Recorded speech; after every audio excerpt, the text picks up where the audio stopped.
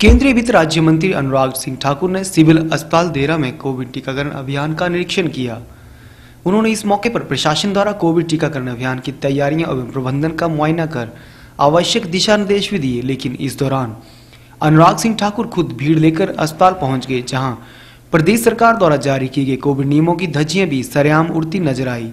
लोगों में भी इस बात को लेकर चर्चा होती रही। यहाँ अनुराग ठाकुर ने पत्रकारों से बातचीत करते हुए कहा कि देश के यशस्वी प्रधानमंत्री नरेंद्र मोदी के प्रयासों से आज हर आदमी को कोरोना का टीका उपलब्ध है। उन्होंने कहा कि ये प्रधानमंत्री मोदी के प्रबंधन और प्रयासों से ही संभव है कि बिना किसी सिफारिश, भ्रष्टाचार या वीआईपी कोटे के आज हर आम नागरिक कोरोना का टीका आसानी से लगवा सकता है। अनुराग ठाकुर ने इस मौके पर टीकाकरण करवाने आए लोगों से भी बातचीत कर उनको प्रोत्साहित किया। उन्होंने स्वास्थ्य विभाग के अधिकारियों और कर्मचारियों द्वारा कोविड के समय में किए गए कार्यो की सराहना करते हुए भविष्य में भी इस गति और सेवा भाव को कायम रखने के लिए कहा। इसके बाद केंद्रीय वित्त राज्य मंत्री ने द्राक्टा में एक कार्यक्रम में गाँव चेलिया के संकटग्रस्त परिवार को इक्यावन हज़ार रूपए की सहायता राशि का चेक भी भेंट किया।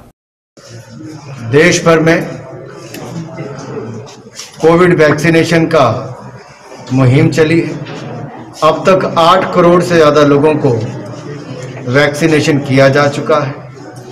प्रतिदिन लगभग 30 लाख से ज़्यादा लोगों को वैक्सीनेशन किया जा रहा है।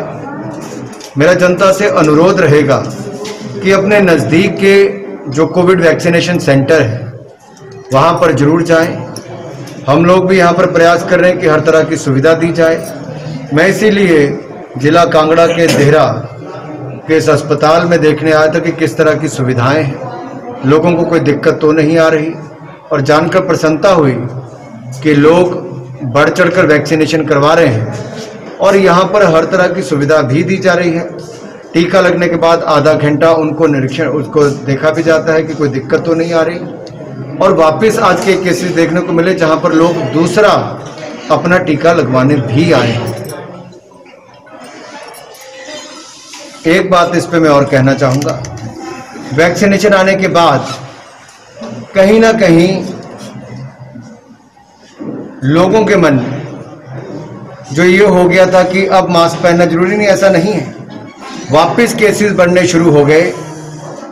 एक लाख से ज़्यादा केसेस आना अपने आप में चिंता खड़ी करता है।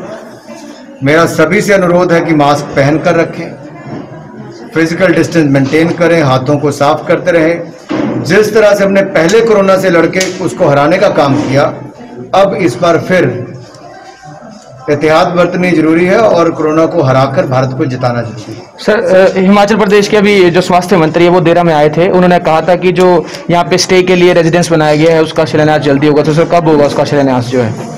जो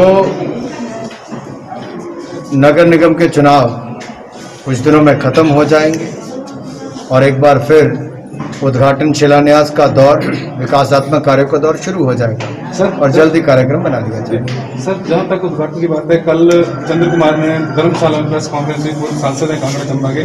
उन्होंने रोक लगाया कि जो ठाकुर बोलते हैं वो करते नहीं और अपनी ज़ुबान से मुकर जाते हैं। जहाँ तक सेंट्रल यूनिवर्सिटी की बात है वो मनमोहन सिंह और लेकर आए थे और वीरेंद्र सिंह क्या कहेंगे सर इसलिए देखिए कांग्रेस का जब काम ही झूठ बोलना है तो एक से बढ़कर दूसरा बोलता है। पाँच साल उनकी प्रदेश में भी सरकार रही थी केंद्र में भी रही थी। ना ज़मीन के काम पूरे करवा पाए थे ना पैसा दिला पाए थे। हमने ज़मीन भी दिलाई पैसा भी दिलाया।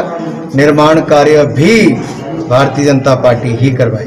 सर कितना पैसा सैंक्शन हुआ इसके लिए? सात सौ चालीस करोड़ रुपया। सर ये और इसमें पाँच सौ करोड़ रुपया इंफ्रास्ट्रक्चर के लिए है दो सौ चालीस करोड़ रुपया एडमिनिस्ट्रेटिव सर देर अस्पताल में ना सिटी स्कैन की कुछ प्रॉब्लम चल रही है लोगों को यहाँ पे। सर वो कब तक सुविधा जो है मुहैया हो जाएगी? राज्य की सरकार के जो स्वास्थ्य मंत्री हैं वो कहेंगे और मैं भी उनके साथ इस विषय को सर पश्चिम बंगाल में क्या भाजपा भी करेगी? पश्चिम बंगाल में भी हम सत्ता में आएँगे और ममता बनर्जी को नंदीग्राम से भी हराएँगे।